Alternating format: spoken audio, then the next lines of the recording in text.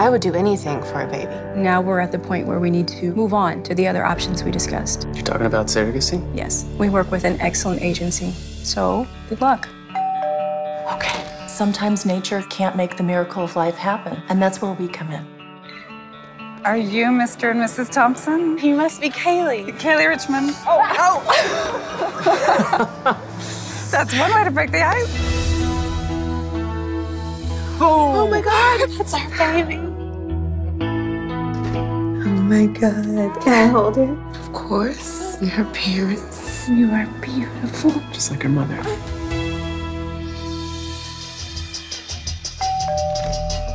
Surprise! Can I see our little girl? She called Sophie ours, Josh, not yours and mine.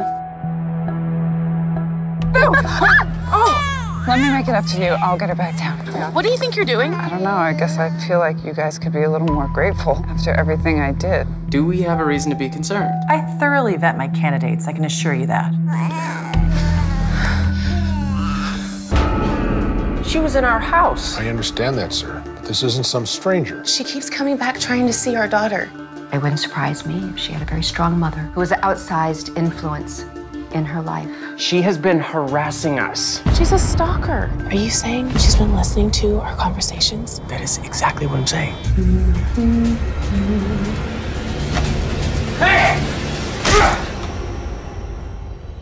She's been released. What? She was released in the custody of her mother. Her mother. Sophie!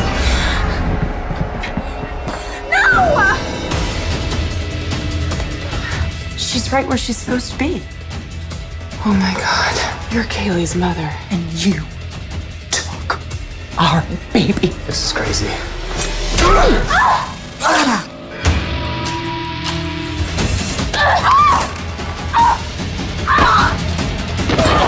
Leave my baby alone!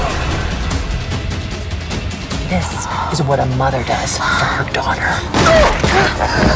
No, this is